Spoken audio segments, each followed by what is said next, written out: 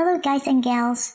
Today I'm going to show you how I draw the frontman from Squid Game using Adobe Fresco. The frontman wears a mask and it can be a little difficult to imagine and draw.